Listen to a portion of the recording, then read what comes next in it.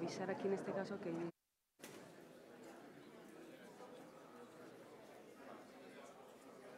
ya para vosotros.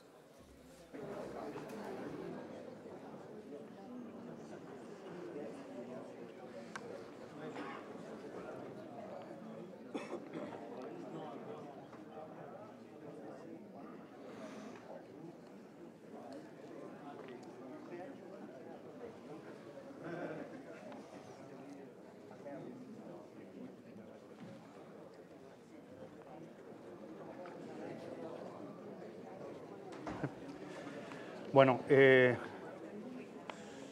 buenos días de nuevo. Eh, bueno, en primer lugar, no lo he hecho antes, quería agradecer a, la organización de estas jornadas eh, que me invitara en su día para participar en ellas como simple enamorado desde el periodismo del pensamiento y de la obra de, Albert Camus. Luego se me propuso además tener el privilegio de moderar una mesa en la que están eh, pues dos personas a las que no puedo dejar de admirar por distintas razones que ahora resumiré. Eh, estaba previsto también la, la presencia de- del escritor marroquí Mohamed Achari y finalmente no, no ha podido, no ha podido acudir. Pero estoy seguro de que Samar Yazbek y Manuel Vicen eh, van a hacer absolutamente interesante esta charla eh, sobre distintos aspectos eh, relacionados con ese enunciado que, tenemos detrás, pero que a mi juicio tiene un, tiene un objetivo que va a salir solo, ¿no? sin forzarlo, eh, que es la absoluta actualidad de, Albert Camus. ¿no? Em, em, como, como decía antes en esa breve presentación de María, em, desde lo que a mí me toca, que es el, el- el oficio del periodismo, siempre he reivindicado que cualquier eh, fórmula para afrontar la, a mi juicio, muy necesaria regeneración del periodismo pasa por el pensamiento de Albert Camus y por lo que defendía Albert Camus en, en la práctica de este oficio y en, y en el compromiso a la hora de ejercerlo. ¿no? Eh, Samar Yazbek es, es una escritora, periodista, narradora siria, que en el año 2011, supongo que la mayoría de ustedes lo conocen, eh, había sido detenida ya por sus críticas al régimen de Bashar al-Assad. Tuvo que salir de Siria en ese año y desde entonces eh, reside en París, pero ni un solo minuto ha dejado de eh, ejercer el compromiso con, con su país, con su patria, con su gente, con el pueblo sirio. Y, y tiene además ese algo tan difícil y tan camusiano de estar enfrentada a la vez con, el, con la dictadura de Al-Assad y con el terrorismo de Daesh o de- del ISIS. A pesar de, de esa situación y del- de, de estar en medio de las bombas y de todo lo que obliga a huir, a salir, a exiliarse a millones de personas que están dejándose la vida en el Mediterráneo o a las puertas de una Europa cerrada, eh, la profesora Samar ha regresado a Siria en tres ocasiones para seguir implicada en la defensa del pueblo sirio y de la democracia en Siria, de ese objetivo que luego explicará ella, de esa Ítaca que podría ser Siria o la reconstrucción de lo que ella cree que debería ser Siria. ¿no? Eh, es además de novelista, poeta, insisto, y narradora, y hay algunos libros ya traducidos al, castellano, el último creo que es La Frontera, y me, estaba comentando antes que tiene ahora mismo en, marcha distintos trabajos de novela y de relato de los géneros que, toca. Manuel Vicen, muchos de vosotros no necesita presentación, seguro, pero quiero deciros que que aparte de, haberlo hecho casi todo en el, trabajo literario y como escritor de periódicos, eh, ha ganado los premios más importantes de las letras en, España y tiene obras para mí imprescindibles como Tranvía a la Malvarrosa o Jardín de Villa Valeria eh, o Cuerpos Sucesivos. eh, uno de los últimos eh, hace año y medio, eran Los últimos moicanos, unos retratos imprescindibles de unos personajes eh, inolvidables en la política, en el periodismo, en las letras. Eh, sus últimas obras son la, la, novela La regata, que ha salido hace muy poco, mes y medio, y, una nueva edición de Antitauromaquia, con ilustraciones de, del roto. yo me atrevería a decir que toda la obra de, Manuel Vicén y cada columna en el país de Manuel Vicén, pues respira el Mediterráneo, ¿no? en, cada línea y en, en cada imagen. ¿no? Bueno, eh, como a quienes tenemos ganas de escuchar esa, a ellos, yo voy a empezar dándole la palabra a la profesora Samar para que ella ponga una reflexión, primero, sobre el enunciado de esta, de esta charla, que me atrevo a, augurar que va a ir por múltiples derroteros, creo que interesantes, y, y luego seguimos con distintos temas. شكرا Muchas gracias. ود بداية En شكر primer المسؤولين lugar, عن quiero هذه التظاهرة expresar الثقافية mis- mi المهمة agradecimiento a la آه، organización لقد كان por brindarme la oportunidad de participar en estas jornadas que rinden homenaje a una de las figuras máximas de la literatura universal, Albert Camus, que ha defendido los valores humanos. Ahora nosotros estamos llamados a buscar y otro significado del acto de rebelión. Tenemos que reconstruir este concepto porque Camus ha defendido a las personas vulnerables. Nosotros estamos llamados hoy a defender a los vulnerables. Tenemos que buscar más allá del ámbito epistemológico, semántico de la de la es decir, ese sentido histórico.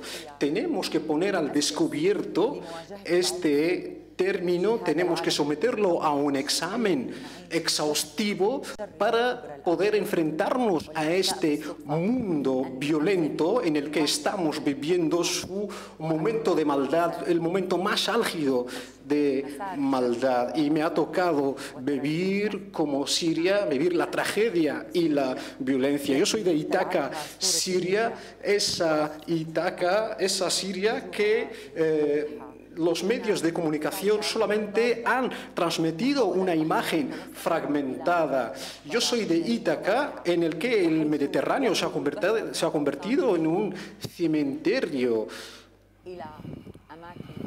Muchas personas se escapan del terror para buscar un refugio seguro. Y yo quiero hablar aquí del Mediterráneo, este Mediterráneo que nos une a todos. Nosotros tenemos que hablar de la cuestión de los refugiados, también tenemos que hablar del exilio, qué es lo que significa Ítaca y qué es también u- u- también tenemos que hablar de la cuestión de la inmigración. Estamos llamados a dar una definición nueva del acto de rebelión. Tenemos que hablar también de la concepción ética de Ítaca, esas personas que abandonan forzosamente sus países para dirigirse a otros lugares seguros. ¿Por qué eh, los refugiados, los inmigrantes deciden emprender esa aventura y poner sus vidas en riesgo. Si queremos hablar de Ítaca y si queremos enfrentar esa realidad de violencia, de maldad que marca nuestro mundo, tenemos que plantear una serie de preguntas. Tenemos que preguntarnos, por ejemplo, por qué hay un mundo rico en el norte y hay un mundo pobre en el sur. ¿Por qué el mar Mediterráneo se ha convertido en un puente? Un puente por donde pasan muertes y ahogados. Y realmente Albert Camus, como periodista, ha hablado de estas cuestiones. Nosotros tenemos que expresar, por ejemplo, nuestra solidaridad con los refugiados. Hemos de tratar eh, el tema de los refugiados de una manera reduccionista, es decir, hablar solamente de sus problemas sociales, o tal vez hemos de ir más allá para hablar de los conceptos de la muerte, de la religión, del Mediterráneo, creo que son muchas preguntas que debemos plantear y tenemos que hacer una revisión crítica de, de el concepto ético de Ítaca. Tenemos que decir que hoy estamos ante uno de los ante las consecuencias nefastas del, sistema económico sistema económico liberal, es decir, que ha dividido el mundo en dos partes, una parte, un norte rico y un sur uh, pobre. Yo creo que esta es una pregunta interesante y yo estoy eh, concernida de eh, dar respuesta a esta eh, pregunta porque procedo de un país tocado por la violencia y por lo tanto tenemos que buscar la Ítaca perdida, la Ítaca perdida que, a la que estamos buscando ahora. Me interesa sobre todo hablar de, del sueño de Ítaca, del sueño de los sirios de Ítaca. Somos más de 5 millones de personas sirias que han abandonado su país y hoy en día son refugiados. Tenemos que tenemos que hablar de este tema. Yo no quiero utilizar la palabra refugiado, re- me rectifico. Nosotros no somos refugiados, sino somos exiliados que han sido, eh, eh, que han abandonado de forma forzada su país. Nosotros no hemos elegido de forma voluntaria eh, salir de nuestro país, no hemos tenido otra alternativa y por lo tanto podemos eh, preguntarnos hoy de esta eh, cuestión, es decir, la diferencia entre lo que es el exilio y lo que es el refugio. El exilio muchas veces eh, tenía que ver con personas que estaban perseguidas a lo mejor por sus ideas políticas, pero eh, los, los refugiados eh, también eh, hace referencia a aquellas personas que salen de sus países para mejorar, eh, para, eh, mejor dicho, escaparse de la guerra y de la violencia y buscar un lugar eh, seguro. ¿Cómo se está eh, dividiendo hoy en día el país de Siria. Esta es una pregunta también interesante. ¿Por qué está pasando hoy en día? ¿Por qué los sirios hoy en día están eh, sufriendo esta situación. Más de 5 millones de personas sirias exiliadas y también no hemos de olvidar que hay cuatro millones de personas desplazadas en el propio territorio eh, sirio y esos también forman parte de este sueño de Ítaca porque han abandonado sus lugares, han abandonado sus casas. Lo que también me interesa cuando hablo de Ítaca, es decir, eh, eh, reconstruir, el concepto de Ítaca, de volver a Ítaca, ese concepto Ítaca. Yo salí de Siria en el 2011, yo no he sido detenida en 2012, yo entré en 2012, yo salí, cuando salí en el 2011, salí forzosamente, pero volví. Y ahora voy a hablar de esas... eh, eh, de, esa vuelta a Siria. Yo eh, he vuelto a Ítaca, pero he sido otra vez expulsada de eh, Ítaca porque los territorios están eh, controlados por el régimen de Al-Assad. En Siria yo siempre tengo muy presente una situación, una situación que tiene que ver con Ítaca y que he recogido en mi libro Las puertas de lo absurdo, está traducido también en español, decía, he vuelto, yo estaba en un punto fronterizo, eh, Turquía detrás y Siria delante, yo estaba mirando a, al cielo, el cielo de Siria y detrás de mí eh, estaba Turquía. He dicho, he vuelto, he vuelto, y esto no era una escena eh, cinematográfica. Yo creo que con, e, si eh, me detengo a reflexionar sobre esta frase, yo puedo escribir un libro sobre Ítaca. Eh, Ítaca en 2012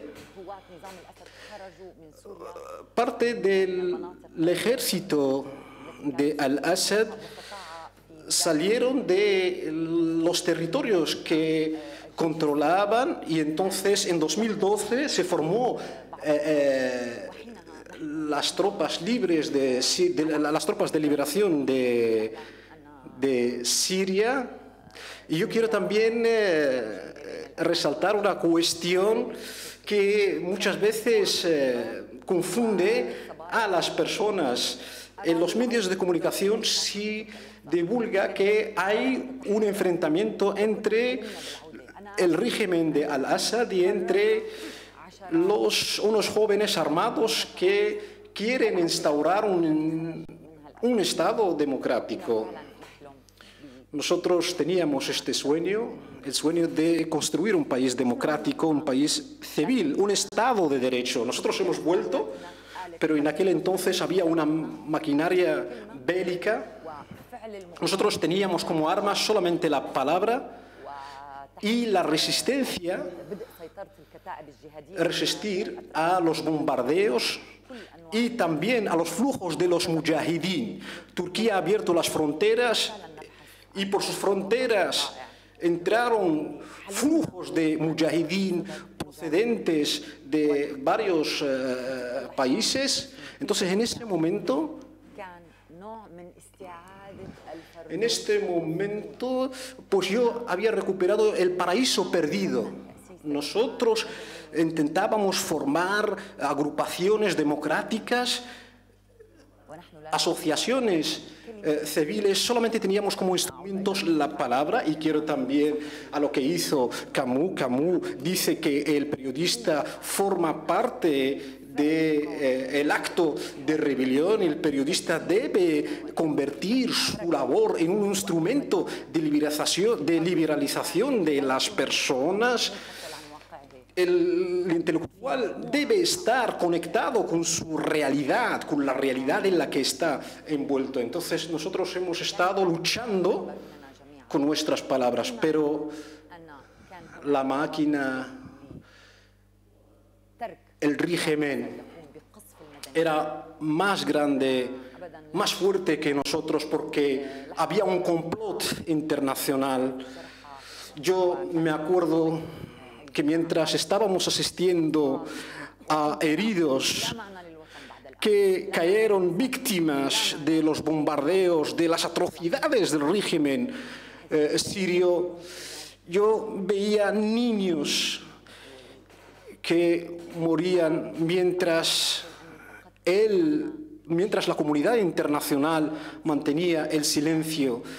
Entonces no debemos limitarnos al concepto romántico de Ítica. Todos hemos sido expulsados de nuestros países,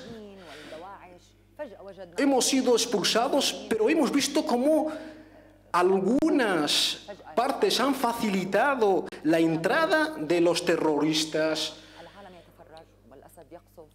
El mundo entonces es testigo de esa barbarie, de esa atrocidad. Y esto para mí es uno de los significados de Ítaca, es la esencia de la idea de la patria, del exilio, de todos esos conceptos vinculados con nuestra situación. Personas inocentes morían de forma sucesiva y no había ninguna voz que se oponía a esas barbaries y no había personas que hablaban de la patria y de Siria como la Ítaca de los sirios. Es cierto que esto tiene que ver también con los cambios que se están produciendo en el mundo. Nosotros necesitamos, tomando o a la luz, mejor dicho, de las circunstancias actuales, nosotros necesitamos recrear conceptos filosóficos nuevos. ¿Qué es lo que significa, por ejemplo, el exilio? Nosotros estamos aquí, pero yo estoy aquí, pero me hubiera gustado estar en mi patria. ¿Qué significa para mí la patria en un mundo convulso, en un mundo predominado por la violencia, por la injusticia? ¿Qué es lo que pasó? Nosotros necesitamos un principio rector que pueda que pueda servir de, pilar y al mismo tiempo de palanca para ir hacia la, la Ítaca que todos soñamos. Un mundo donde reinen los valores de justicia, de igualdad. Nosotros estamos reunidos hoy aquí para conocernos primero los unos a los otros. Necesitamos que los unos conozcan a los otros el concepto de Ítaca, y creo que con esto voy a concluir, no sé si tengo tiempo. Cuando hablo del exilio y cuando hablo de la patria, yo soy una, al fin y al cabo, yo soy una escritora, una escritora que pertenece a su contexto sociocultural, pero es verdad que se han alterado los conceptos y ahora estoy hablando de una patria por una parte y de una causa por otra, una causa que debemos eh, defender. Ítaca, y, y, esto es, eh, forma parte de lo absurdo del que habla eh, Camus cuando habla Camus, que por ejemplo podemos hacer frente a lo absurdo con lo absurdo, es decir, en este mundo que eh, eh, carece de libertades, si queremos, eh, que, si queremos que nuestra existencia tenga sentido, pues tenemos que vivir nuestra existencia con, de forma absurda. Yo volví a Siria y creía que el acto de libertad el acto de rebelión en el que quería participar y por supuesto yo eh, pude trabajar con las mujeres, creé una asociación que tiene como finalidad empoderar a las mujeres eh, política y económicamente. Pero realmente he visto que ahí también se vive un exilio interno yo, yo a los 16 años decidí independizarme y eso es algo intolerable en mi sociedad.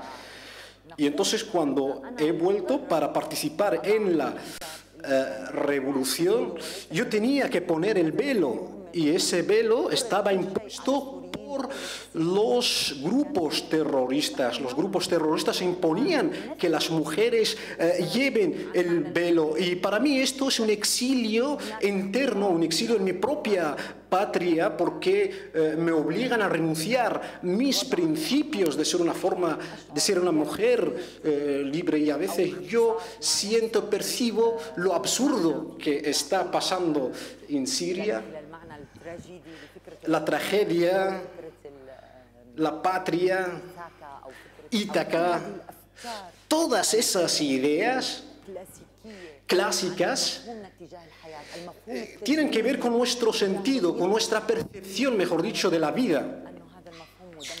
Creo que este concepto, el concepto de Ítaca, es un concepto perdido, un concepto demolido, y yo estoy buscando qué es lo que significa la justicia, qué es lo que significa la resistencia. Nosotros estamos en el nihilismo, en una etapa de nihilismo, pero ese nihilismo exige un acto de rebelión, incrementar nuestro levantamiento. Y por eso yo estoy aquí hablando y tengo la capacidad de decir lo que estoy diciendo. Muchas gracias por todo.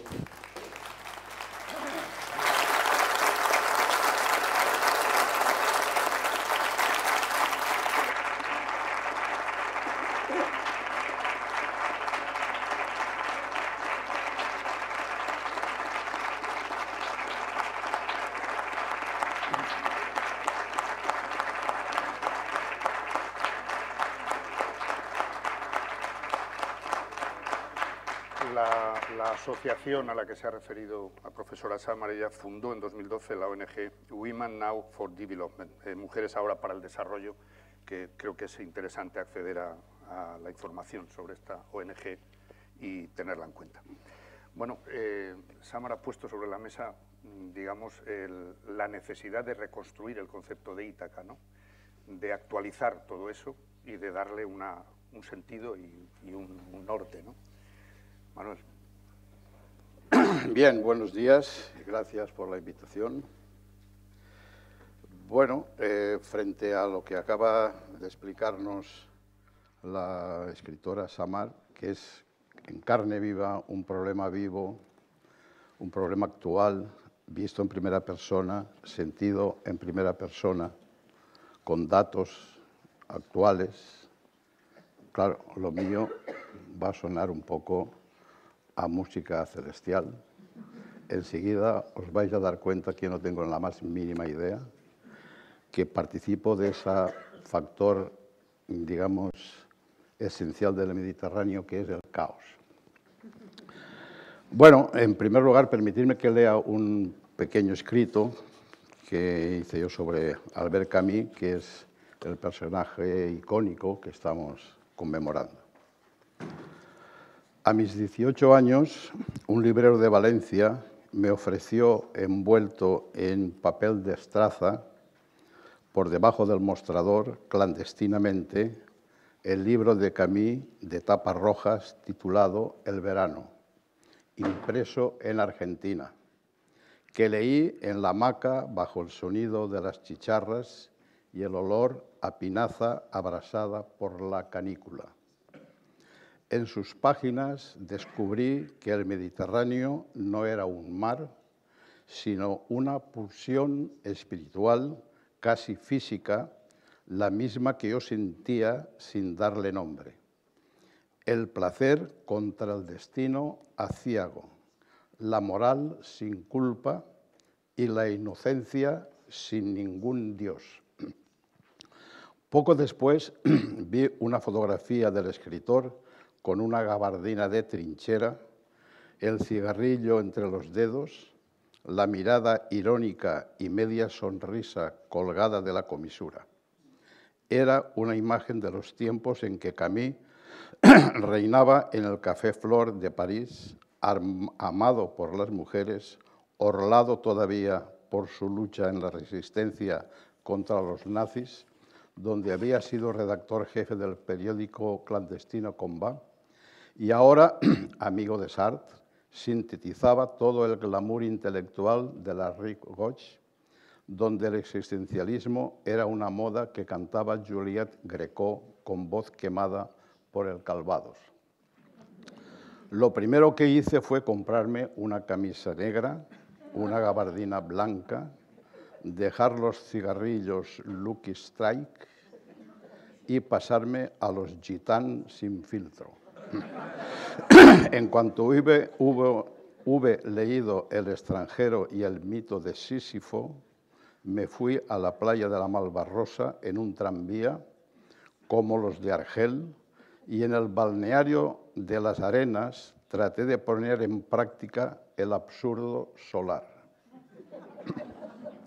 Subía al último trampolín de la piscina como quien acarrea el propio cuerpo a la cima y desde allí me arrojaba al agua sin saber que ese acto era un castigo que te obligaba a ascender por dentro de ti mismo una y otra vez, como Sísifo, claro.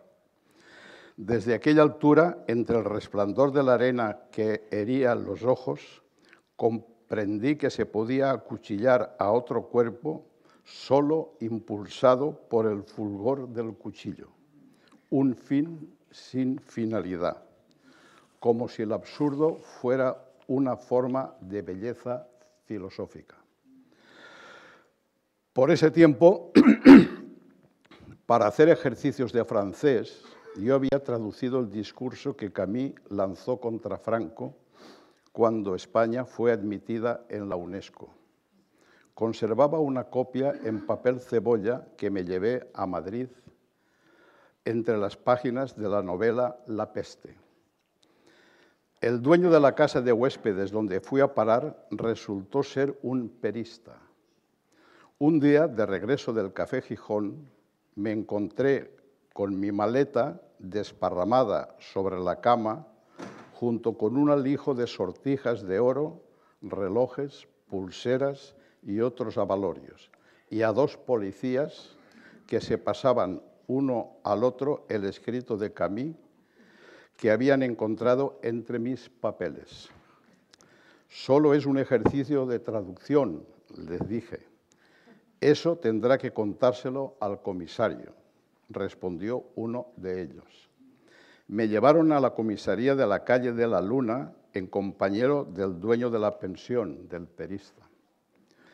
Después de algunos insultos quedé en libertad, pero este percance hizo, que me sintiera ligado de forma romántica al ver Camille, a quien desde ese momento guardé una fidelidad absoluta. Yo sabía con quién debía alienarme cuando Sartre y Camus escenificaron una abrupta ruptura, no solo ideológica, sino también de su amistad ante el mundo del pensamiento y de las letras por una concepción distinta del compromiso. Camus había tenido el valor de denunciar los campos de concentración de la Unión Soviética y en medio de una feroz disputa los admiradores de Sartre rodearon a Camus de un cordón sanitario que ni siquiera logró salvar con el premio Nobel. Solo su muerte, acaecida en un accidente de automóvil el 4 de enero de 1960, lo devolvió a las páginas de los periódicos, pero enseguida su obra cayó de nuevo en el olvido. Después fueron los nuevos filósofos y otros bandos de torcaces que se pasaron del marxismo a la derecha los que trataron de interpretar aquel acto del hombre rebelde como una baza de su propia ideología. Pero Camus no era un ideólogo ni un moralista, sino un escritor profundamente moral que supo discernir a su debido tiempo que, el compromiso debe ser con los que sufren la historia y no con los que la hacen uno a uno de forma personal donde quiera que se encuentre. Al principio fue solo una emoción estética por su forma de estar en el mundo lo que me atrajo de este escritor. Pero llegó un momento en que en medio del naufragio de todas las ideas, lo elegí como un buen guía frente a mis propias dudas y contra toda clase de infortunio. Bueno, esto lo escribí día. Y ahora, y ahora quiero, él, como yo, os puedo contar cómo yo descubrí el Mediterráneo. Bueno, yo, como dice Serrat, yo nací en el Mediterráneo y por lo tanto no sabía que esto era el Mediterráneo. Lo descubrí cuando lo perdí.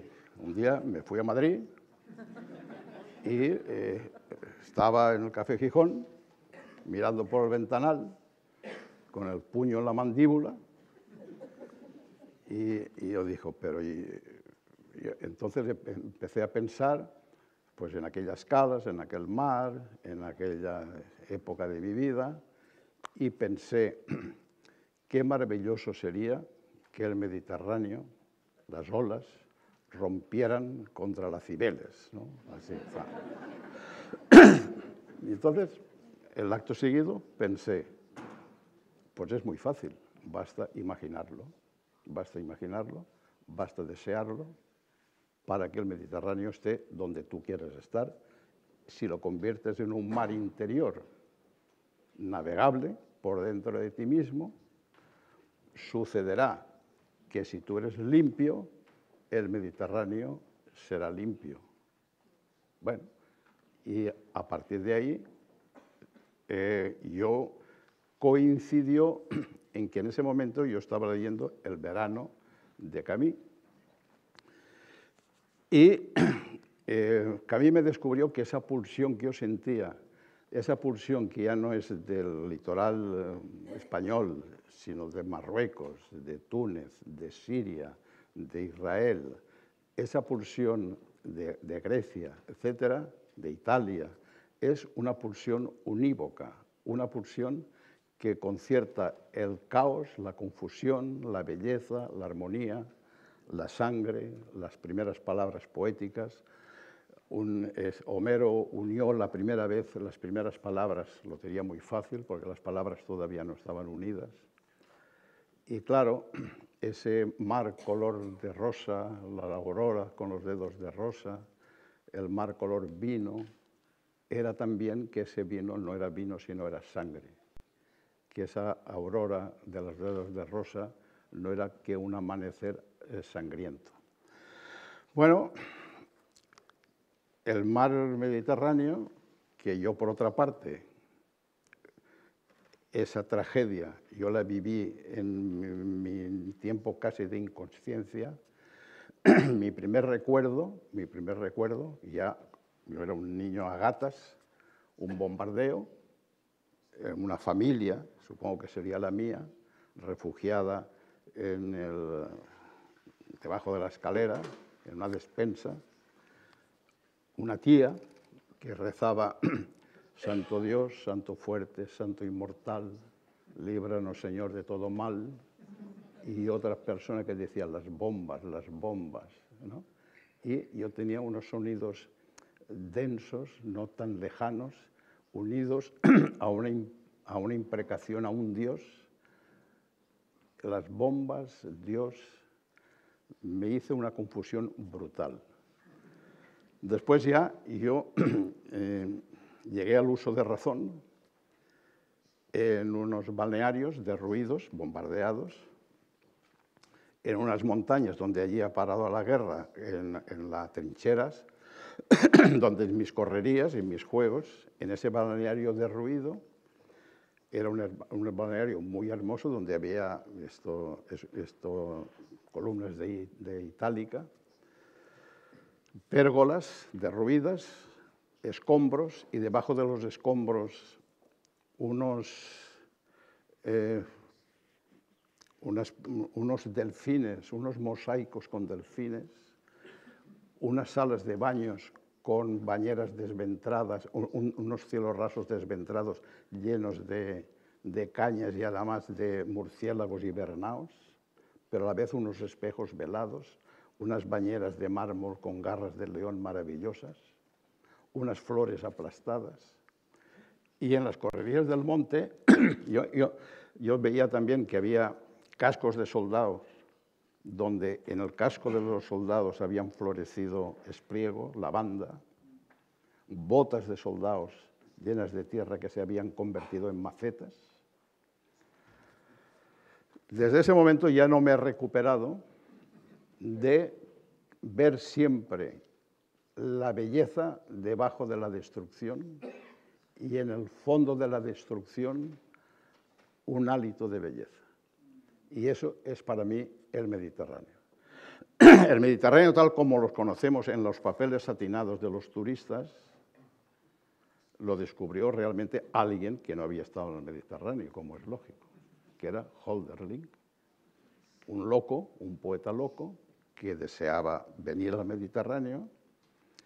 Un ebanista en Tubinga lo refugió, estuvo 30 años o 20 años en un desván en medio de la niebla de Tubinga, imaginando el Mediterráneo, y él lo imaginaba como ninfas, dioses de mármol, campos de moscatel, acantilados maravillosos, un mar azul.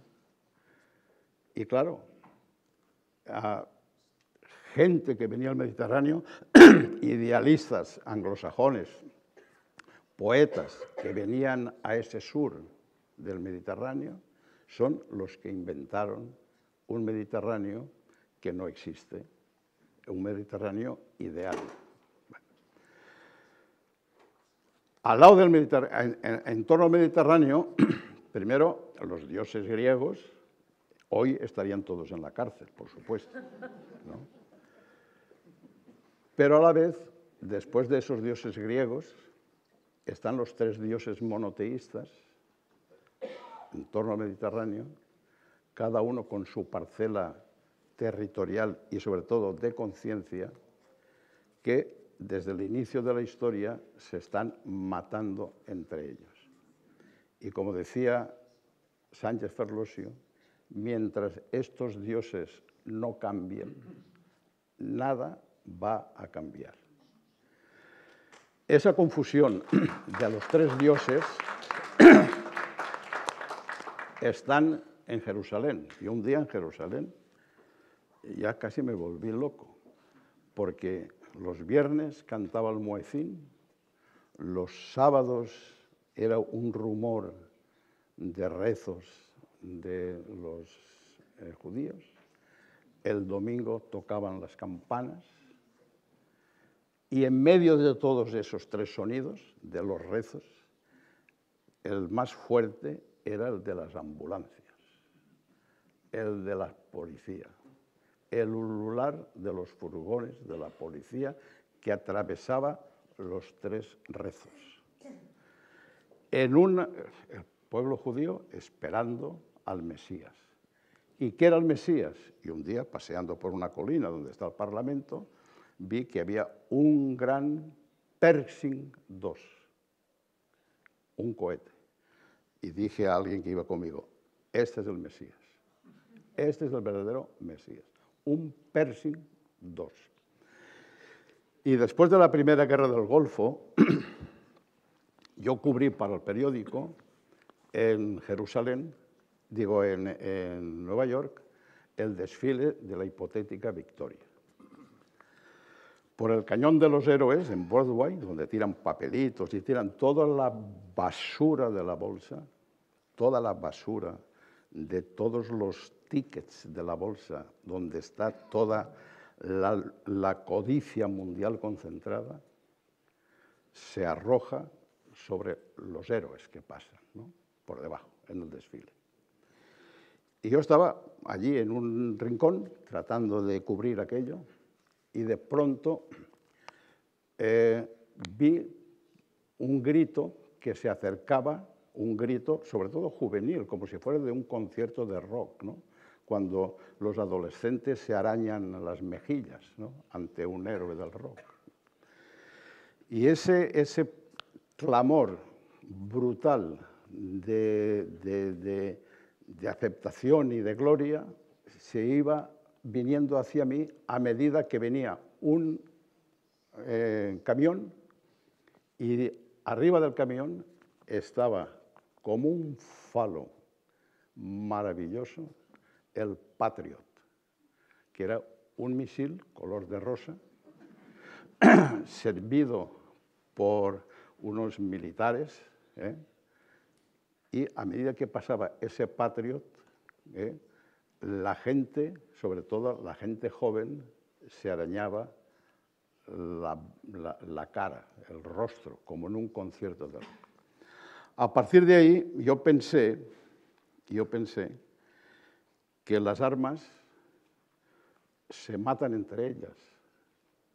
Es decir, que las armas se reconocen entre ellas y se matan entre ellas. Y el el fundamento de todo, del armamentismo, es la maldad humana, el diablo que se ha convertido en un arma. Sucedió una vez en Perú, cuando aquello del sendero luminoso, que hubo una refriega donde murieron a la vez 30 o 40 guerrilleros del sendero luminoso y otros tantos del ejército del Perú al revisar las armas, se vio que las del Sendero Luminoso eran estadounidenses y las del Ejército Nacional Fascista eran de la Unión Soviética. Quiero decir que, bueno, el Mediterráneo, Itaca, es el camino. Luego nosotros ya estamos en Itaca, porque esto que estamos haciendo es parte de ese camino, es parte de ese ideal de paz. Hay un verso maravilloso de García Lorca que dice, de pronto el mar recordó el nombre de todos los ahogados. Es estremecedor. Pensar que ese Mediterráneo es un foso, es un foso, que separa lo que se supone que es el paraíso del infierno y donde esos que vienen hacia el paraíso son condenados a morir ahogados, es estremecedor.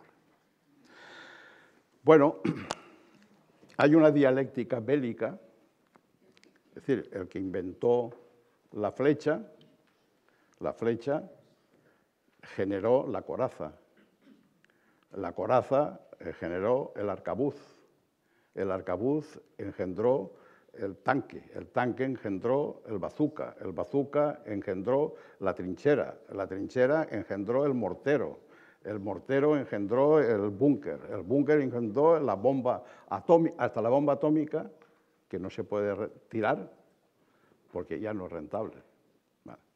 Y en esa dialéctica bélica, la última fase de esa dialéctica bélica es un arma imbatible que es el suicida. El que está dispuesto a morir, el que está dispuesto a morir, frente al cual ya no hay dialéctica, ya no hay dialéctica. Se ha llegado a la cumbre. Entonces,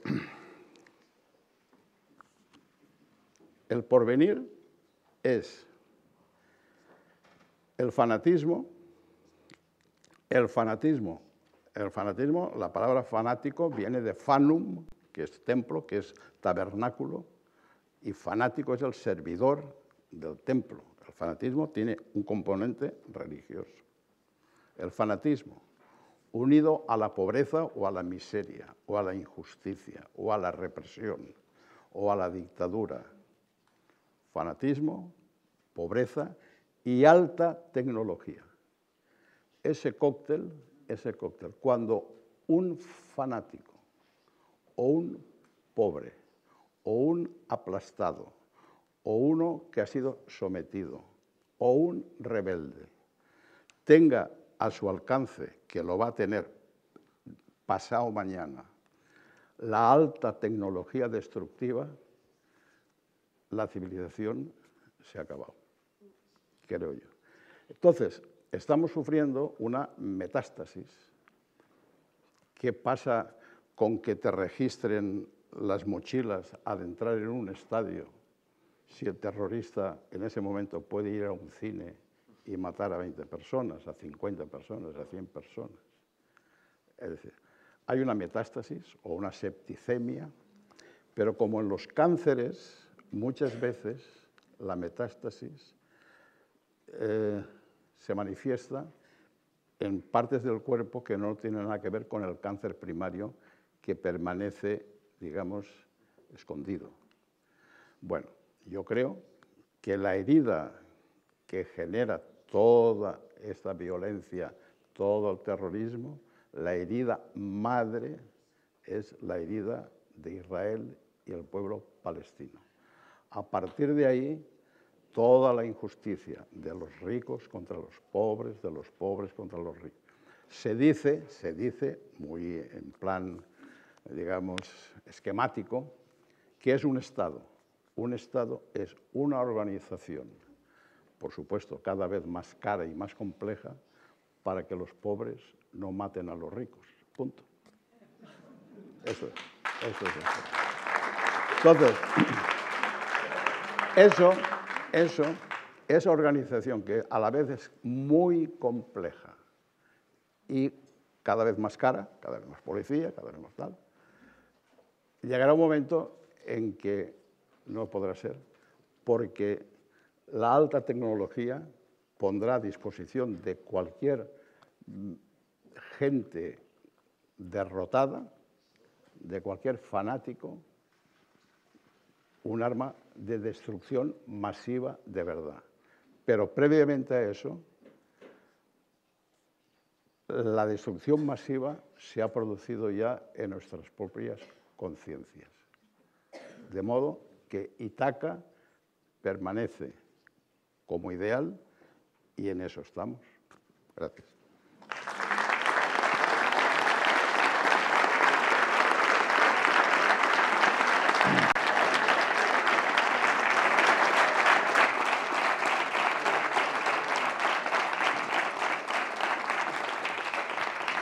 Bueno, estaba recordando cuando Manuel ha mencionado la bomba atómica que Albert Camus fue de los escasísimos intelectuales que se pronunció contra la bomba atómica en aquel momento, en aquel contexto.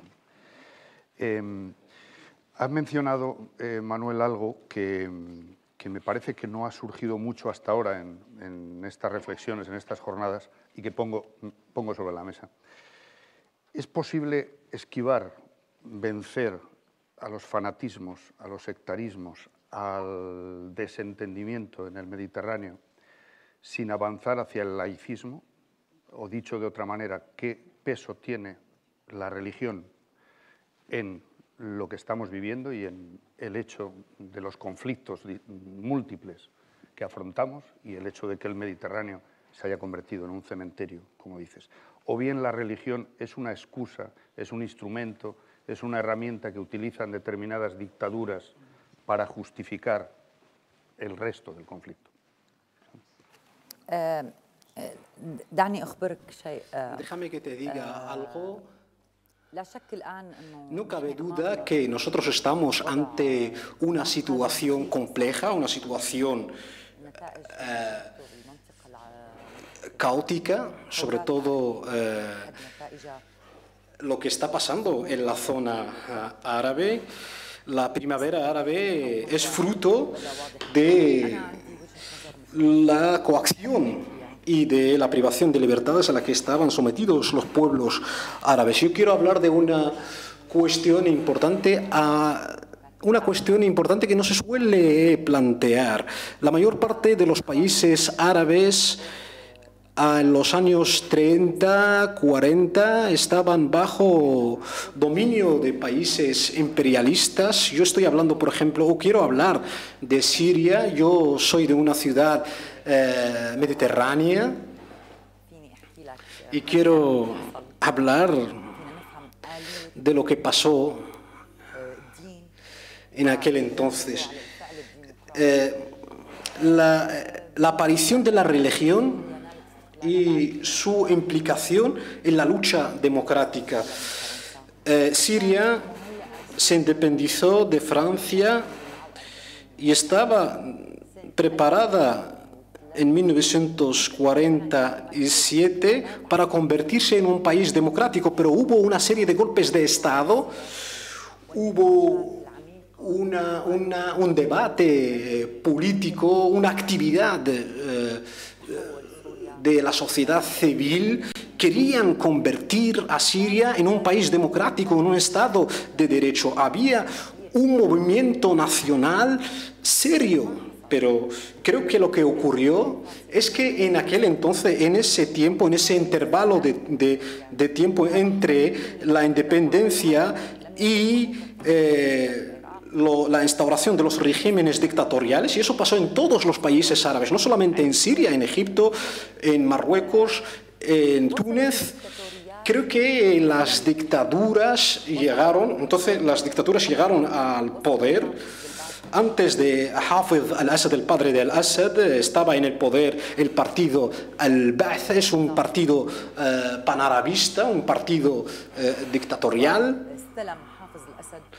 Hafez al-Assad llegó al poder en 1970 En aquel entonces, antes de la llegada de Al-Assad, había partidos políticos, había eh, eh, sindicatos, eh, la religión era un factor también eh, importante y no quiero con esto quiero resaltar que eh, el factor religioso es verdad, es muy importante, ha tenido una gran incidencia en el renacimiento, la Nahda, en el renacimiento árabe, Muhammad Abdu, intelectuales y pensadores árabes que han intentado eh, llevar a cabo una ilustración de todos los pueblos eh, árabes, pero sus sueños han sido truncados por los dictadores, los dictadores que han impedido que eh, eh, haya una atmósfera democrática, eh, el poder lo que hizo es aglutinar todos los partidos, es decir, los partidos de izquierda y los partidos islámicos, aglutinó a esos poderes, a esos partidos, mejor dicho, y los sometió a su eh, total. Lo que hizo el poder en aquel entonces es encarcelar a los eh, partidos que eh, reivindicaban la instauración de la democracia en Siria, también encarceló a políticos de, eh, que tienen una referencia, o mejor dicho, que tienen una ideología eh, religiosa. Y quiero también hablar en este sentido que se, perpetró, se perpetraron masacres contra eh, los civiles. En los, a principios de los años 60 y los años 70 vimos cómo se incrementó el poder del sectarismo la familia alawi eh, se apoderó de todos los sectores del Estado. Al-Assad hizo una coalición con la, eh, la clase media y con eh, la clase alta de la sociedad siria y entonces él mm, instauró un sistema dictatorial. Entonces nosotros en medio de este de esta atmósfera eh, de represión, hemos reivindicado eh, eh, valores y libertades, como por ejemplo la libertad de expresión. Pero yo creo que hay algunas personas que se han refugiado en la religión. Se han refugiado en la religión para pedir la protección que no les dio el país y por lo tanto surgió aún más el sectarismo, el sectarismo que se ha venido incrementando a lo largo de las tres de, a lo largo de las últimas tres décadas. Yo creo personalmente que si no hubiera habido una represión de los levantamientos, si no hubiera habido una reacción violenta o una represión violen- violenta de los, de los sirios, yo he visto como, por ejemplo, han eh, apaleado a jóvenes eh, sirios, yo he visto en las cárceles a jóvenes afinados como animales, sus caras estaban ensangrentadas, sus ojos, sus narices rotas y tenían los ojos hinchados. Yo creo que Creo que el factor religioso o el incremento de la religiosidad del pueblo eh, sirio es una reacción en contra de, en contra de la dictadura. Nosotros, si queremos solucionar esta situación, tenemos que fomentar los valores de justicia, de igualdad. Yo creo que los conflictos sociales no se pueden resolver eh, de forma violenta, pero yo creo que hay una guerra. Yo creo que hay personas interesadas en que la guerra de Siria perpetúe en el tiempo. Hay muchos intereses y yo creo que esta situación puede incrementar el terrorismo. Lo que está pasando, por ejemplo, hoy en día, incluso en Europa, el terrorismo azota a Europa y por lo tanto nosotros hemos de trabajar conjuntamente para garantizar un desarrollo sostenible e inclusivo. Hemos de incluir a todas las personas. Hemos de detener que injerencias externas, injerencias externas en Siria y hemos de pensar en acabar con esos grupos terroristas que eh, utilizan la religión para, eh, para conseguir eh, intereses y propósitos propios. Creo que necesitamos un diálogo serio si queremos una solución total. ¿Por qué han llegado estos terroristas a Siria? Muchas gracias. Manuel, el, el peso de la religión, y tú mismo has planteado que hay que pasar por la solución del conflicto israelo-palestino para llegar a algo más. Hablando de la religión, es decir, nosotros tenemos tres cerebros, ¿no? El cerebro reptiliano, como reptil todavía está operativo, que lo tenemos aquí abajo, muy abajo. Ese gobierna hambre, sed, sexo y territorio. Es decir, el territorio donde puedes sobrevivir porque comes, bebes y te reproduces. Somos todavía patriotas porque so- somos todavía reptiles. Eso para empezar, para empezar. Después del reptil viene el cerebro límbico, que es el cerebro de las emociones, que a veces lo compartimos con animales eh, mamíferos superiores. Es el cerebro de las emociones, es decir, cuando tú llegas a casa y el perro mueve el rabo feliz, es lo mismo que cuando te encuentras un amigo y le das un abrazo. Es exactamente las mismas. En ese cerebro límbico están las emociones, los símbolos, los sentimientos, a quién quieres más, a papá o a mamá, los cánticos, los dioses, el dios. Vamos a ver, en la religión católica, bueno, y después a los siete años, sobre el cerebro límbico se superpone el córtex, el neocórtex, que es la inteligencia. Hasta los siete años, aproximadamente, el cerebro límbico está totalmente desprotegido por la inteligencia. El poder, el poder, el Estado, se pelea por poseer ese cerebro del niño y de la niña, porque sabe que todo lo que le meta ahí, eso ya no se va a olvidar. Es un sello en la mucosa que ya no se va a olvidar. Por tanto, la Iglesia, el Estado, que es lo mismo, está interesadísimo e in- innegociable que ese cerebro límbico le pertenece.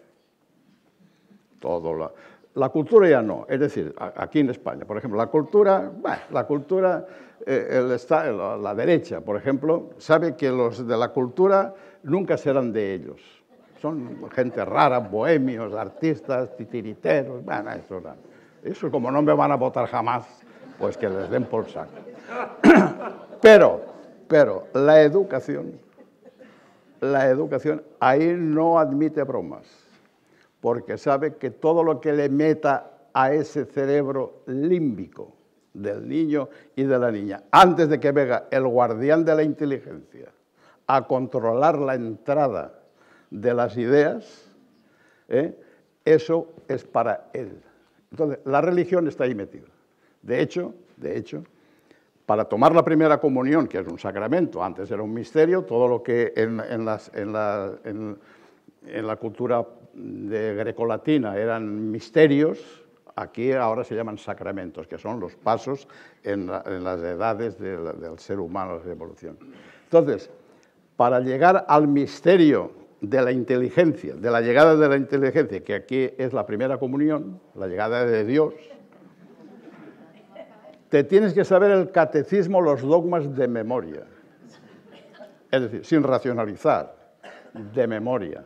En el cerebro límbico. Y eso te encontrarás que el ateo más grande del mundo en un momento se sorprende diciendo, oh Virgen mía, soltando una ejaculatoria o una blasfemia, que es una ejaculatoria al revés, a mí me da igual. Luego, esa religión, esa religión, ahí es donde el poder, el poder, después lo puede manipular, porque, por desgracia, muchísima gente, muchísima gente, no abandona nunca ese cerebro límbico. No lo abandona. Y vemos a gente muy mayor, a políticos muy mayores, que son como niños. Es decir, de hecho, de hecho, de hecho, en la, en, en la psicología, digamos, política, tienes que saber un meeting, es decir, un estadio lleno de fútbol, un estadio de fútbol lleno de gente en un meeting, todo el estadio tiene una psicología de seis años. Y hay que hablar a todos como se hablara a un niño de seis años. Por eso, los americanos que lo saben todo en eso de la marketing político, saben que las elecciones ahora se ganan con una frase. Simple. Dos frases, la gente ya se arma un lío. Una frase. Sí, podemos. Eh, sí, no sé qué. Eh, cambio, eh, no sé qué. Tres frases ya toma por saco. Entonces, quiero decirte que, que ese cerebro límbico, hay mucha gente, gente que, que, que yo siempre me maravilla que científicos que están en los laboratorios estudiando y descubriendo la física cuántica, que está demostrando que dos quasars pueden estar en dos sitios a la vez. El domingo van a misa. Es decir, es una cosa... Y, después, el chiste del roto el otro día, con esto de, de la madrugada y de todo esto, de, de las procesiones, un Cristo lleno de llagas y lleno en la cruz, y ponía, como si hablara Cristo, ¿no? Me sacan a pasear todos los años para que veáis lo que os puede pasar si sois como yo.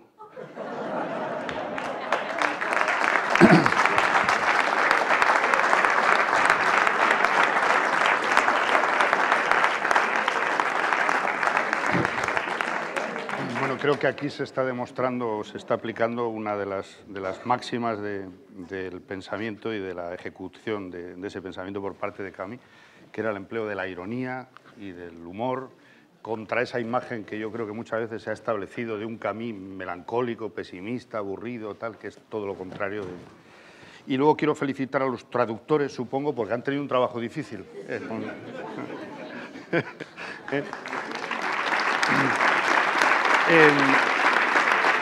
Una, me gustaría poner sobre la mesa solo un, una cuestión más para dar paso a, las preguntas que queráis hacer, eh, porque en algún momento de, las jornadas mm, me ha parecido que corríamos el riesgo de que el, pensamiento, la herencia intelectual que representa Camus, eh, dejara un halo de de, de, crítica a una especie de ingenuidad colectiva o de pesimismo innato, eh, de melancolía, de utopía inalcanzable. ¿no? Y me parece que se van sumando, desde ayer, se van sumando intervenciones y aportaciones que, de momento, al menos a mi juicio, nos llevan a la importancia y el peso del camino, más que del destino. Eh, la importancia de cada paso que damos en la reconstrucción, si se quiere denominar así, de, del Mediterráneo, pero de algo que va más allá, es decir, la reconstrucción de lo civilizado, de lo democrático, la reivindicación de la duda que distinguía a Camus frente a las grandes seguridades y de los fanatismos y demás. ¿no? Eh, no sé si debemos, mm, o si compartimos, mejor dicho, esa reflexión que me parece optimista y realista, eh, cada uno en su ámbito. Yo en el, en el mío, que es el del periodismo, procuro reivindicar en ese sentido lo que reivindicaba Camille, que en cada día, en cada momento, es mucho más importante afrontar la realidad y contarla honestamente que mm, pretender el pragmatismo absoluto de si esto no consigue un objetivo pasado mañana no merece la pena. ¿no? eh, Ítaca es el camino, o mejor dicho, el camino es lo que vale la pena y lo que puede hacernos avanzar hacia esa reconstrucción que, que tú, Samar, planteabas.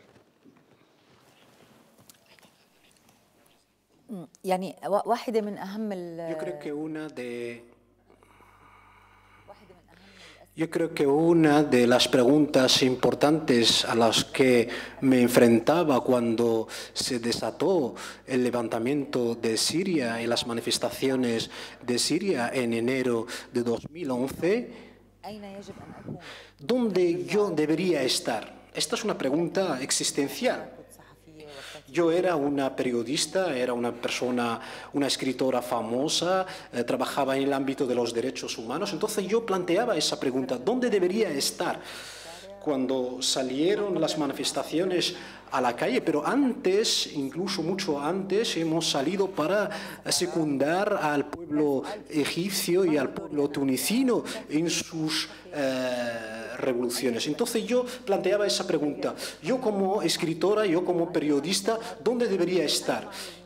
¿Debería tomar, asumir algún compromiso? ¿Debería estar al lado de los manifestantes eh, o al lado del régimen, debería estar al lado de las personas vulnerables que salieron de sus pueblos remotos para introducir una serie de reformas. Ellos lo que querían es unas reformas sociales, reformas políticas.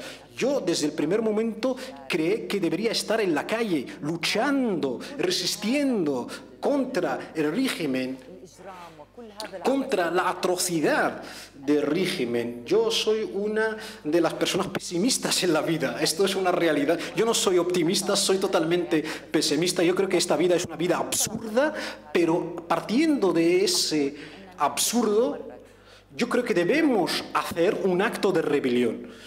Yo eh, eh, sé que había una serie, un grupo de manifestantes que no tenían nada más que sus pancartas reivindicativas. Así eran. Pero nosotros nos enfrentábamos a un ejército, un ejército que encarcelaba, que reprimía a los manifestantes. Y yo entonces tenía que hacer esa pregunta ética. Si yo quiero participar en las eh, manifestaciones, entonces debería participar con mi pluma. Y entonces yo he optado, me he decantado por los eh, derechos de los manifestantes y yo he reflejado eh, lo que está pasando realmente y yo creo que este es el papel que debe asumir cualquier periodista, cualquier artista, cualquier intelectual. Los intelectuales, los periodistas deben tomar parte de la verdad porque la verdad es parte de la justicia y nosotros no podemos instaurar justicia sin eh, la existencia de una verdad y por lo tanto yo quería reflejar fielmente esta realidad. Yo quería eh, preguntaba, me preguntaba cuál es el, el papel que debe asumir el intelectual y el periodista.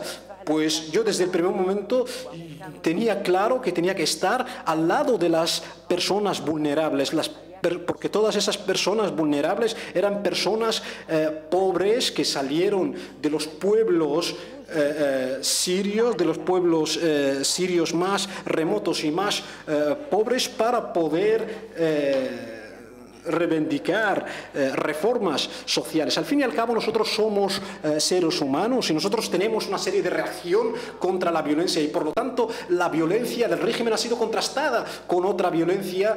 Yo eh, quería insistir y quiero insistir en esta pregunta, ¿qué es lo que nos interesa como escritores, como intelectuales, como artistas ¿Dónde debemos estar? ¿Estar al lado de las personas vulnerables o estar al lado de los opresores? Había en aquel entonces eh, brigadas eh, armadas eh, entre los manifestantes, pero yo quería saber la verdad y por lo tanto yo decidí que debería estar en el terreno con esas personas para ver lo que está pasando, lo que está ocurriendo en Siria, no lo que están transmitiendo los medios de comunicación. Y por lo tanto yo quiero insistir en que el acto de la ética es su relación con eh, la sociedad en la que nosotros eh, eh, vivimos. Yo, creo totalmente en, los principios. Sé muy bien que estamos en un momento de maldad.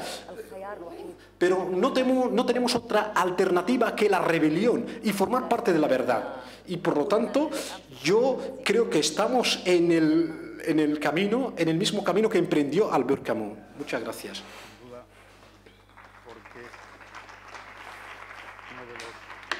pensamientos esenciales de Camino eh, y es motivo de crisis, a mi juicio, además de la crisis política, de la crisis mm, del periodismo, de las múltiples crisis a las que asistimos, en el origen está la percepción de la ciudadanía de que hemos estado, digo en, plural, los poderes políticos, los medios, los periodistas, hemos estado más cerca de los intereses del poder que de la gente que nos necesita y ante la que tenemos que servir.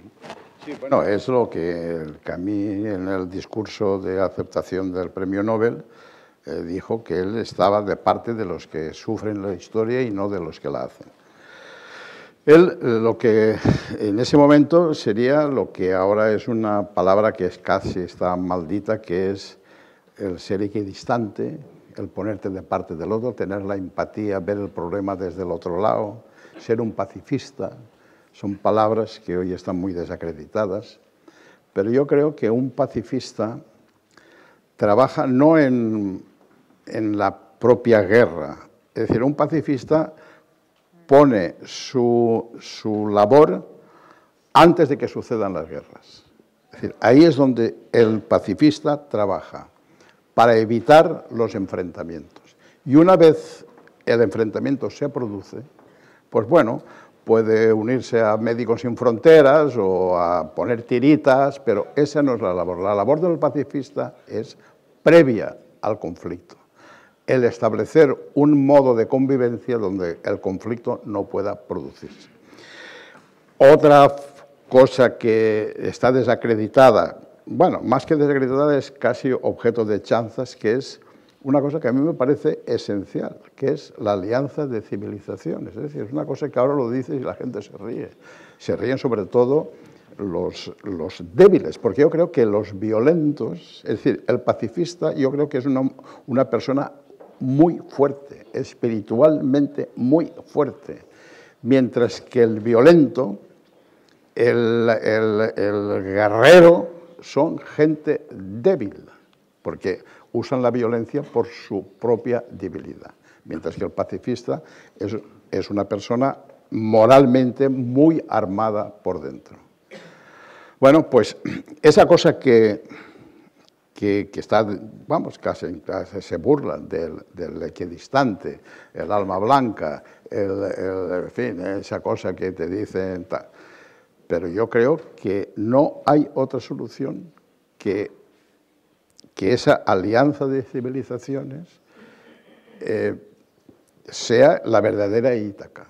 La verdadera Ítaca es que llega un momento en que esos tres dioses, esas tres culturas, esas tres formas, esos tres territorios del Mediterráneo, y el Mediterráneo como símbolo, porque eh, conflictos hay en todo el mundo, pero estamos hablando del Mediterráneo como un icono cultural, hasta que esas, e, esas tres facciones de la conciencia no se unifiquen, pues creo que la sangre va a estar permanentemente derramándose.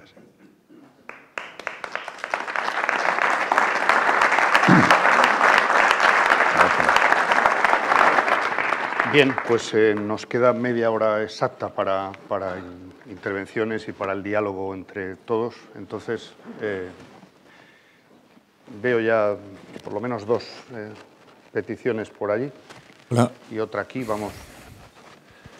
En efecto, en efecto hay un... Em, bueno, habla de alianza de civilizaciones. En efecto, em, este es el camino, trascender esas dualidades eh, no hay un choque de civilizaciones, yo creo que hay un choque de globalizaciones. Em, por eso me parece peligroso, me parece perpetuar el problema cuando se acusa a la religión, digamos, del, causante de, todas estas divisiones que hay. ¿no? eh, cuando en el fondo los, valores más bellos ¿no? que tiene nuestra, nuestro espacio, nuestra sociedad, son herencia directa de esta. ¿no? Eh, me parece que es perpetuar el, problema, ¿no? cuando son, digamos, divisiones motivadas por diferencias de, de problemas socioeconómicos, políticos, etc. Eh, sobre todo porque para realizar esa alianza de civilizaciones de la que habla Manuel Vincent, eh, hay que entender al otro. Y a día de hoy, a pesar de que la modernidad lo ha intentado con sus maniobras, eh, el ser humano a día de hoy sigue intentando, aspirando a algo que lo trasciende. Es un gesto paradójico, con sus contradicciones, humano. Eh, a día de hoy seguimos intentando trascendernos. Y eso hay que acogerlo. eh, por lo tanto, eh, en vez de, bueno, como occidentales, seguir vanagloriándonos de poseer la llave de ciertos valores, como, bueno, como el amor, como la, comprensión, pues verdaderamente ejercitarlos y, entender, no justificar, entender que ese fanático, eh, entender que si provoca sufrimiento es porque sufre, que me parece que es un poco la base del amor, ¿no? la base de la...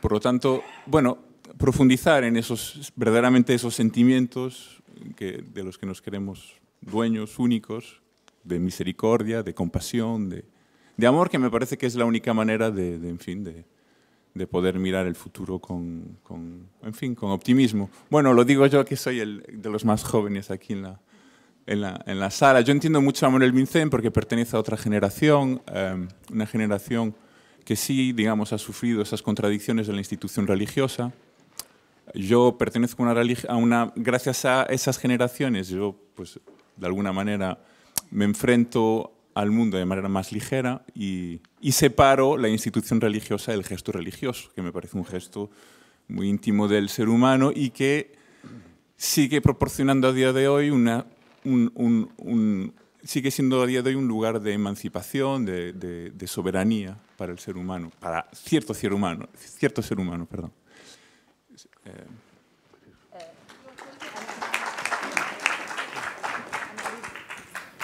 أريد فقط جملة أترك الحديث لل أنا أعتقد أن الحديث cuando hablamos de unificar las religiones, el choque, cuando hablamos del choque de civilizaciones, yo creo que eh, yo creo que debemos superar este debate porque realmente este debate eh, lo que hace es esconder una problemática real y que tiene que ver con la repartición del poder, con la participación de los ciudadanos. El problema está en que hay un mundo rico, poderoso, que se ha apropiado de un mundo pobre y por lo tanto yo creo que no podemos, eh, realmente no podemos unificar las religiones monoteístas. Yo creo que este es un discurso de los evangelistas, pero hoy en día eh, las cosas se han cambiado. Vivimos un sistema económico diferente, estamos viviendo una época eh, post-globalización. Eh, hay multinacionales que están realmente, eh, que tienen el control de los estados y esos estados se han convertido en oficinas de esas multinacionales para fomentar sus inversiones es cierto que las religiones forman parte de los instrumentos utilizados por las multinacionales en la cuenca del Mediterráneo o incluso en otros lugares del mundo. Yo creo que la violencia se incrementará se incrementará. Porque hay una nueva colonialización, hay una colonización económica, una colonización económica que ha impuesto un régimen económico nuevo y nosotros tenemos que reconocer que las guerras que muchas veces son guerras eh, tildadas de, de religiosas, de políticas, pero en realidad son guerras económicas. La religión es un instrumento. Entonces, si queremos hablar de unificar las religiones monoteístas, yo creo que esto nos eh, va a entretener y no nos va a, llevar a una solución seria, a una eh, solución auténtica del conflicto y de los problemas eh, que estamos viviendo. Yo vengo de un país muy lejano, un país que está sufriendo la guerra y creo que para nosotros este discurso ya no es un discurso aceptable. Yo creo que es una tomadura de pelo, ya sea de forma voluntaria o no, para nosotros eso es una tomadura de pelo. Y... Bueno, eh, en parte sí, sí, eh, la Alianza de Civilizaciones no significa unificar eh, la religión y que todo es lo mismo y que ya no existen dioses, sino ponerte de parte del otro, ver el problema desde el otro punto de vista, ver que, es decir, se produce un fenómeno, eh, con esto de la globalización, de que paradójicamente, ahora que estamos todos juntos, apretados unos con otros, en vez de generar lo que a los seres humanos nos une, genera más bien lo que nos separa. Cada uno eh, busca eh, su refugio, su Dios, ante una globalización que no sabes quién manda, de dónde vienen los poderes, es todo etéreo. Cuando vas a detener a, un responsable, eh, pues resulta que no existe, que es una agencia, que es una sociedad anónima, que no el poder es invisible. Entonces la gente se agarra a la tarta o a la, a la mermelada de su abuela, es decir, como salvación. Y por otra parte, dentro de, bueno, yo tampoco lo tengo demasiado claro y no creo que exista una evidencia de, lo de la solución, pero recordando una de las frases más hermosas de Camus, al final del pesimismo, eh, dijo que pese a todo, en el ser humano hay muchas más cosas de admiración que de desprecio. Entonces, ese fondo que tiene el ser humano de admiración, digno de admiración, que es lo que nos une en el fondo a todos los seres por el hecho de estar en este planeta, en este baile al que hemos sido no invitados, y quiero decir que desarrollar eso que nos une yo creo que es también la Ítaca. Sé que, en el fondo de todos los debates y de todas las guerras es la economía, es la economía. Pero debajo de la economía hay un factor de reconocimiento. La gente yo creo que se mata por reconocimiento. Las tribus eh, de África, las primitivas, se matan por ser reconocidas. Es decir, la gente no se mata por comer ni por beber, se mata por reconocimiento. Y claro, ese reconocimiento es la labor, el reconocer al otro, el no tener miedo al otro. Es decir, porque claro, nosotros hablamos de, patria. La patria son unas fronteras, que hay unos cañones, pero la patria también es tu casa, ese señor que llama a la puerta y que no sabes quién es y dices, ¿usted qué hace aquí? ¿No? Es decir, que todos tenemos un territorio, un pequeño territorio, y ese pequeño territorio que defendemos por naturaleza, por nuestro cerebro reptiliano, es el que hay que superar.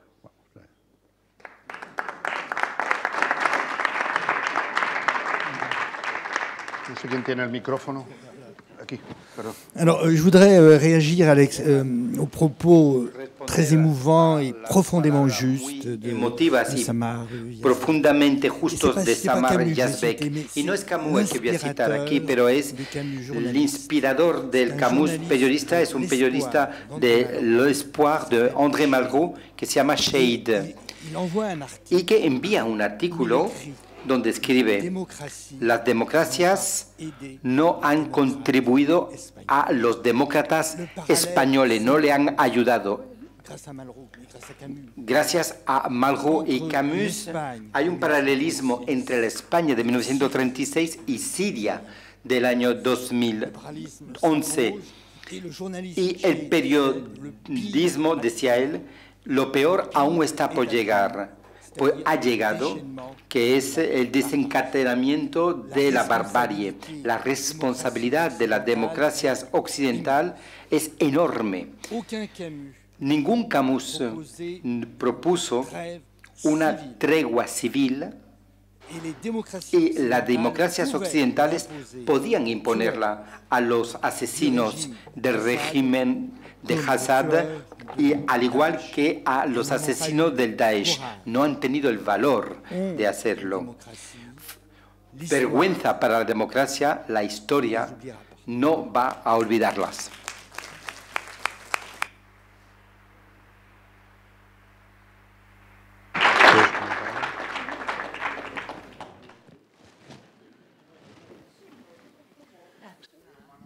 ¿Quién tiene el micrófono por ahí? Se me oye, sí.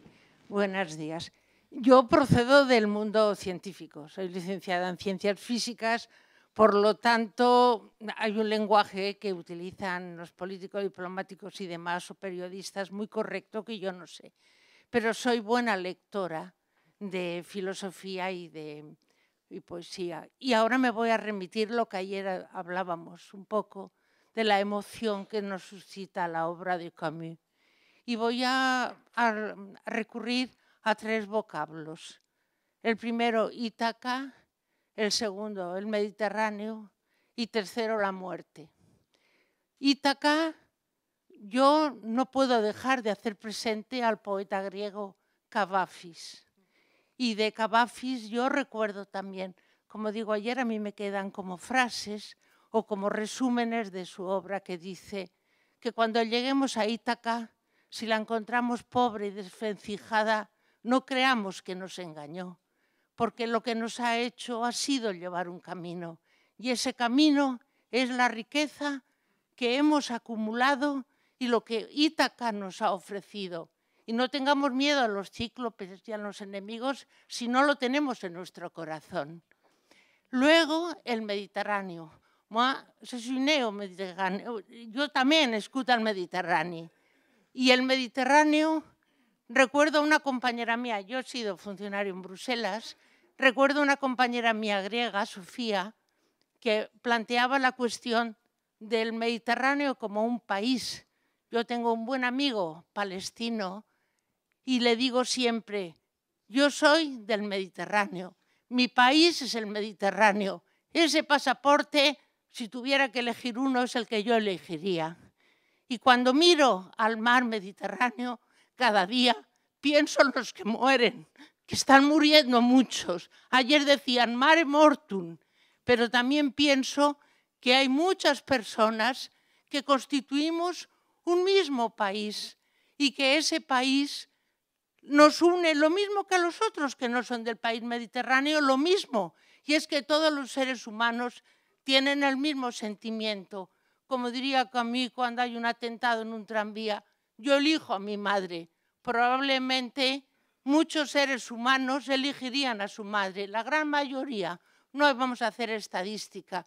Y eso es lo que une a los seres humanos, que a todos nos duele lo mismo. Aunque luego nos engañen y haya seres humanos más o menos alienados, en el fondo, en la emoción, en el sentimiento, ahí los seres humanos tenemos lo mismo.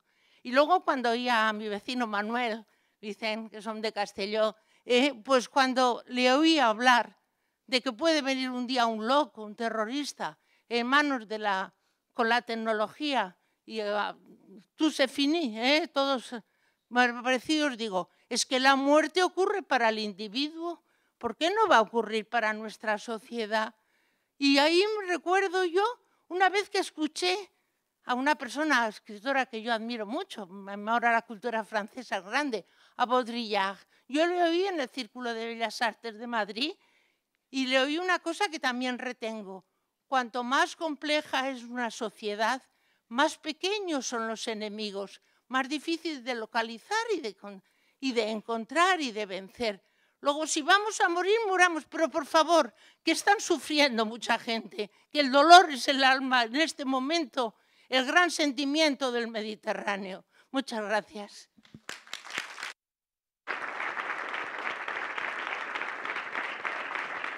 Gracias.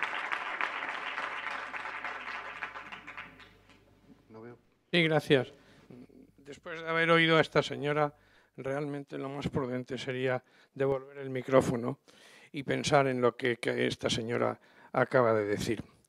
Yo quería mm, hacer una mención en la línea del humor y de la ironía que Jesús Maraña eh, nos ha invitado a, seguir, eh, siguiendo a su vez a, a eh, y hablando a Manuel Vicent de la Alianza de Civilizaciones, cosa de la que los que hemos participado en su día en la conformación de ese concepto agradecemos mucho.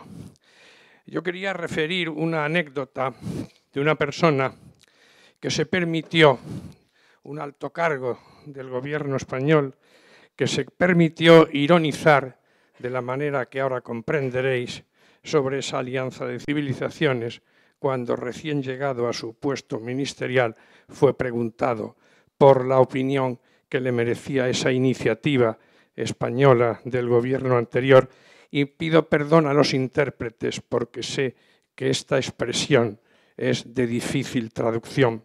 Esta persona dijo, la alianza de civilizaciones no está la Magdalena para tafetanes. No está la Magdalena para tafetanes. Los que comprendéis y sabéis español comprenderéis el sentido de esta expresión y la desazón y la desazón que, que invadió a todos aquellos capitaneados por una persona que está aquí presente esta tarde. No sé por qué. Ah, es que me sale la voz. Me sale la voz del traductor. Eh, la desazón eh, que, invadió a todos aquellos que participamos en aquella iniciativa. Pero eso no fue obstáculo para, siguiendo también en la onda de Camus, se siguiese trabajando de manera muy seria y muy convencidos todos de lo que se estaba haciendo, hasta tal punto que hoy día, y más, mal que les pese a algunos, la alianza de civilizaciones es prácticamente uno de los principios de la Carta de las Naciones Unidas. Nada más, gracias.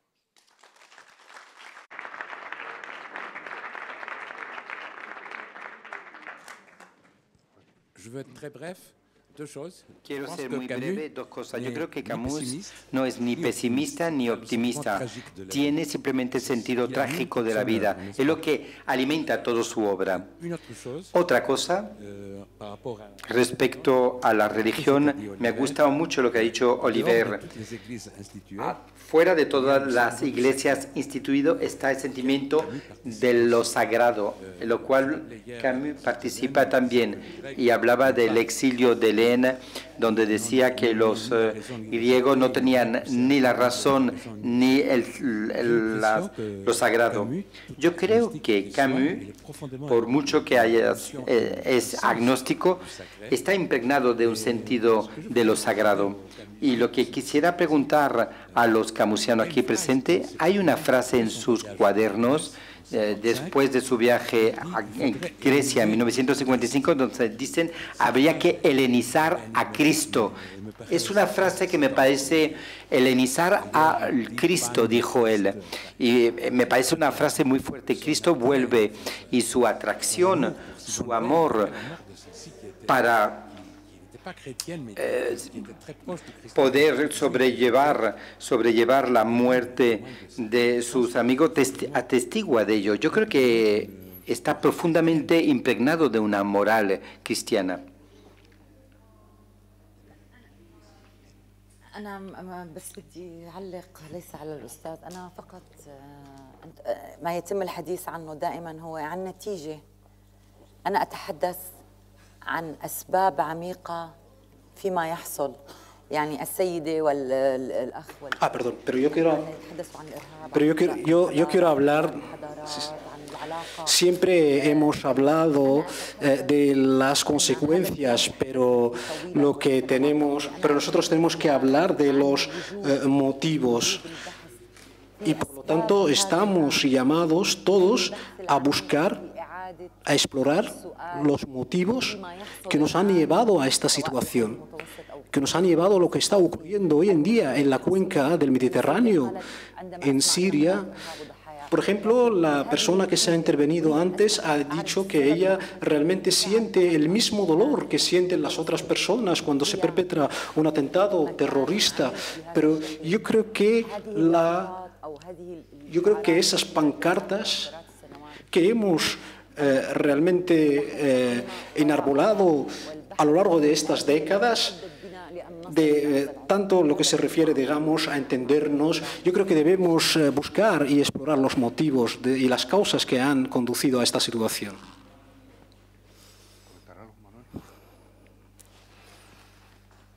Más, yo creo que hay quizá un par de turnos.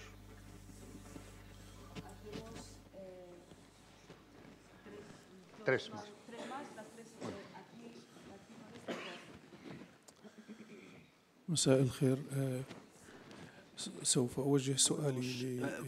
Buenos días. Quiero dirigirme pregunta a la escritora Samar Yezbek. Yo sé que el intelectual no puede eh, estar, no puede apegarse a la neutralidad. Yo creo que los intelectuales tienen que asumir un compromiso. Pero más allá de esa pregunta, qué es o cómo, ah, ha contribuido la situación de Siria en tu producción literaria. Es decir, que has podido desligar la creación literaria de lo que está pasando en Siria y de tu postura política.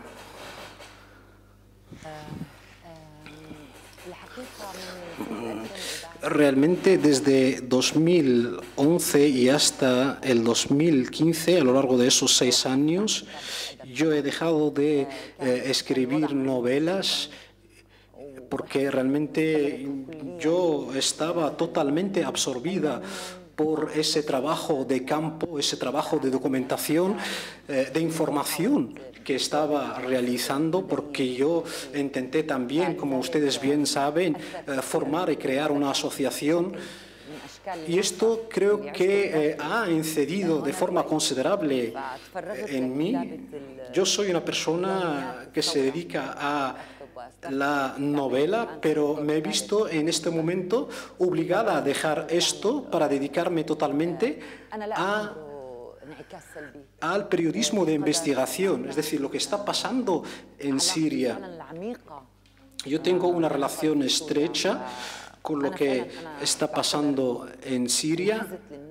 Yo creo que yo me, eh, me he alineado con las personas vulnerables, he estado al lado de las personas vulnerables porque los medios de comunicación han manipulado las informaciones y han hablado solamente de las brigadas eh, armadas y, han eclipsado el papel y la situación de eh, las personas pacíficas que lo que reivindicaban eran unas reformas eh, políticas y económicas. Yo eh, eh, en el 2015 sí que he publicado una novela. Yo creo que la experiencia eh, que he vivido en Siria ha tenido una muy buena influencia. Yo no me arrepiento de ello. Yo creo que eso es lo que tenía que hacer y lo he hecho.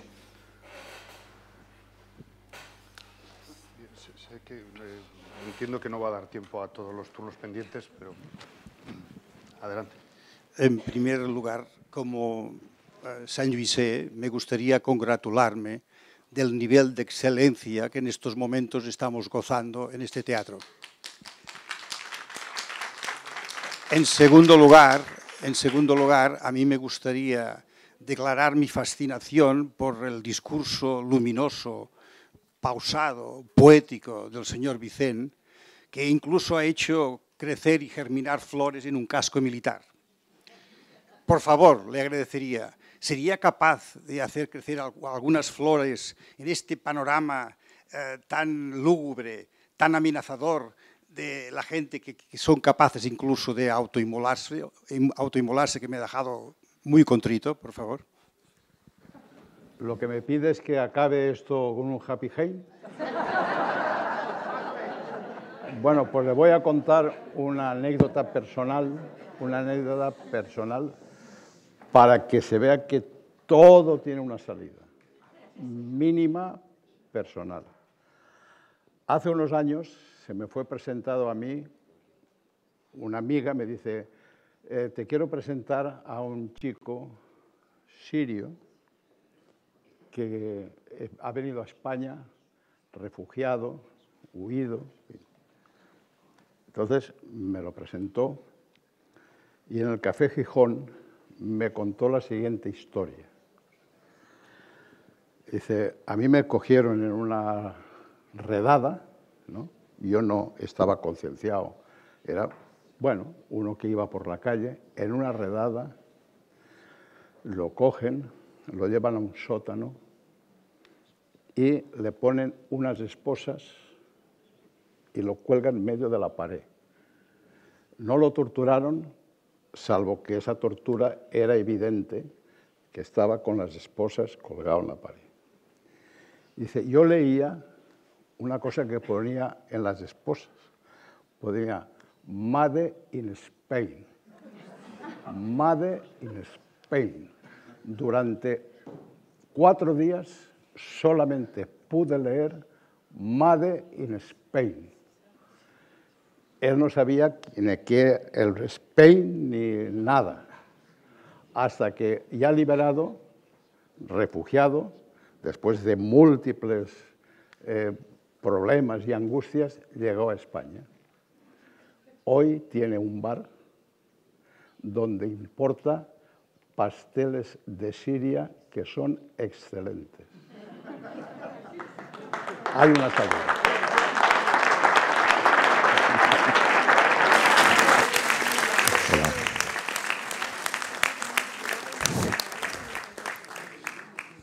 Muy breve. Eh, siguiendo en la línea de lo que ha dicho mi amigo justo antes y interpelando de nuevo a Manuel Vicente, tu cita del El verano eh, y Bodas, otro pequeño libro, me hace venir, me, dan ganas de, de, introducir el concepto de placer. Llevamos toda la mañana hablando de dolor. Creo que el placer también está aquí presente y que es bueno recordarlo. El libro, El verano, está lo que a mí me descubrí el Mediterráneo en un pequeño artículo que se llama Nupcias, nupcias en Tipasa. Muy bien. Em, bueno, creo que, para ser puntuales este es el momento de, de, acabar esta charla. Quiero agradecer obviamente a Samar y a Manuel sus lucidísimas intervenciones y me atrevería a apuntar nada más recordando el trabajo de mi compañera María Santos, eh, que eran cuatro mandamientos que establecía Camille para el periodista libre, pero que a mí me parece que sirven para cualquiera, ¿no? La lucidez, la desobediencia, la ironía y la obstinación. Y de todo eso ha habido aquí y ojalá continúe mucho tiempo.